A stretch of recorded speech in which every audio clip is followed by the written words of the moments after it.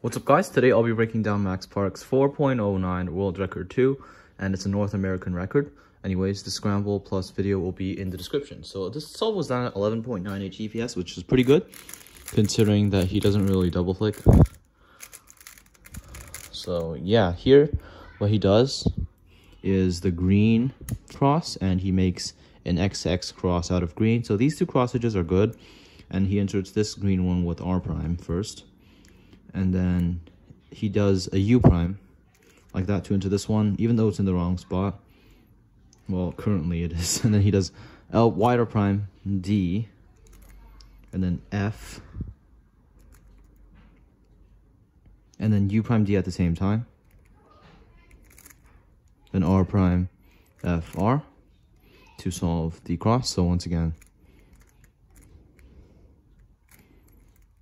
here he does F to this cross edge, and then U prime D at the same time, and then it that makes this block and this one, and then R prime F R to insert this cross edge.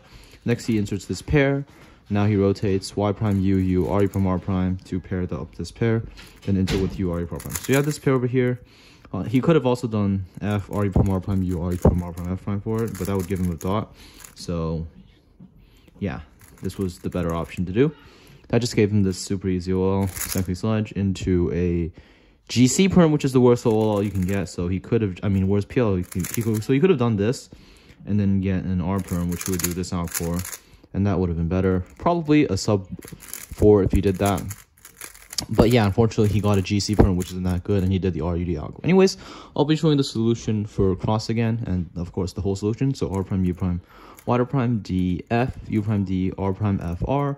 Insert this free pair, rotate, pair up this pair with U, U, R prime, R prime, and then U, insert the pair.